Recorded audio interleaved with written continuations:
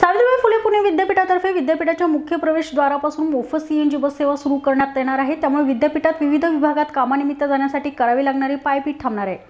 विद्यापीठाला Maharashtra natural gas लिमिटेडच्या corporative social responsibility या बसेसच्या माध्यमातून विद्यापीठाच्या अंतर्गत सीएनजी बस प्राप्त झाल्या आहेत.